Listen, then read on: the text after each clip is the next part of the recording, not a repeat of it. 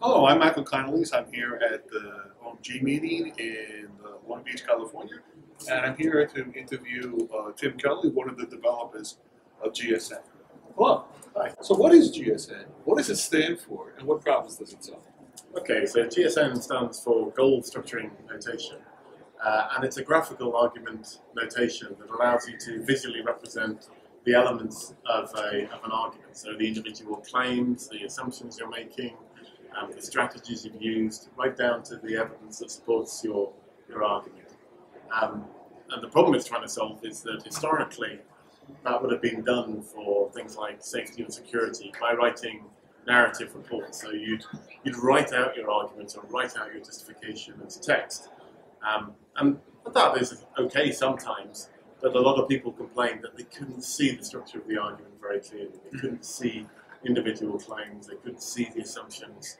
and it was often very hard for them to trace from uh, the claims being made right down to the evidence that was actually being used. So hard for people to discern. So, it helps you organize your arguments with evidence. Yeah. So, um, what were the team of people who came up with GSN, and um, what caused them to think of it? Okay, um, so the team comes from the University of York. So we have a, a group called the High Integrity Systems Engineering Group, and uh, uh, a group of us there came up with it. And the original inspirations were, first of all, um, early work on argumentation. So there was a, a guy called Stephen Toulmin who talked about how to structure informal arguments. Um, so we used that as one of our sources.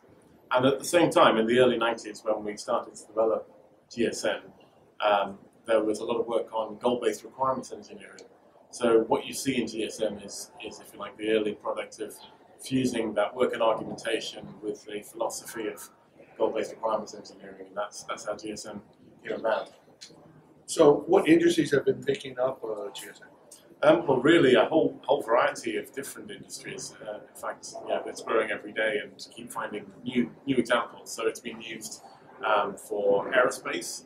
It's being used for um, medical devices. It's being used for some space safety cases. It's also being used for um, chemical plants, um, offshore oil and gas um, platforms. Um, so yeah, a whole a whole variety. Um, so railways, uh, some of their safety cases are represented in, in GSN, um, and uh, increasingly all around the world as well. So although it came from the UK, it's it's now uh, got applications that you can find all over the world, like um, the UK-US Joint Strike Fighter that has a, a GSN-based safety case. If you arrive at London uh, Heathrow Terminal 5 and are moved around the terminal with their personal rapid transit system, that has a GSN safety case. Um, even some of our really old aircraft in the UK, like our uh, Battle of Britain Memorial flight, that, that apparently has a GSN safety case as well. So the, the number of uses of it are, are really you know, huge and wide and varied. So, I'm, I'm likely to have uh, used a system or a device that the GSN was Yeah. involved in making. Often, uh, often you would have come across one, yeah. So, what? Are, how does uh, GSN change the current industry? Has the users of it really uh, feel that it's an improvement for them? Yeah. Um, well, over so I've been working on it for 20 years, and um, if you go right back to the beginning, the whole idea of using um, graphics for representing the, these arguments was quite quite foreign to people. They didn't didn't recognise it.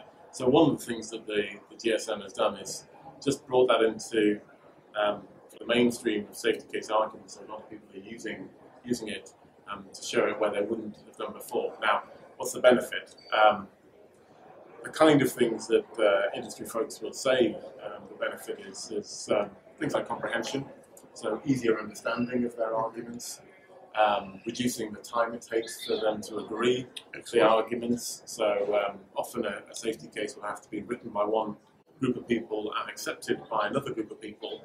So what you want is the, the cleanest, most efficient way of communicating. So Uh, the, the regulators seem to understand it and Yeah. uh, Yeah. adapt it and adopt it. Yeah, and, and there, there are quite a few examples of regulators that that have encouraged it as a as an approach um, because it makes their life easier when, when they're given safety cases that have this clear clear structure that's easy for them to follow. Yeah, I understand the USF, uh, FDA have started to look at it for Yeah, devices. yeah. So there are examples since since they've started asking for assurance cases.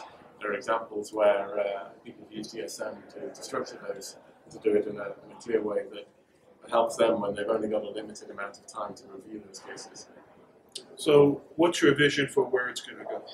Um, well, if you like, um, the core concepts of GSN are pretty stable. So, uh, as I mentioned, it's been around for about 20 years. Even some of the extensions that, that, that I've been involved in, like patterns and modular GSN, um, those are kind of 10 years old, 15 year olds as well. So, the kind of things that, that we're looking at at York um, to extend it is what we call model based assurance cases. So, how we can automatically link uh, GSN-based arguments in with other kinds of system models, so things like SysML or, or AADL, um, and uh, directly link the, the GSN arguments to those other forms of modeling. Um, in some cases, automatically generating the arguments from other from other models, from other system models and other analyses that can be performed. Yeah, I know the SysML committee has been thinking about using GSN for two purposes, really. One is to verify that they've met their safety requirements, because little, always a Mm. but also to justify design decisions. Why did you pick this uh, part versus that part to competitors? You always have to document it, and your way in using GSN it sort of seems very powerful. Yeah, yeah, yeah. It could be. Well, thank you for your time. It's been wonderful. We'll see each other again, I'm sure. Yeah, it's. What do you think?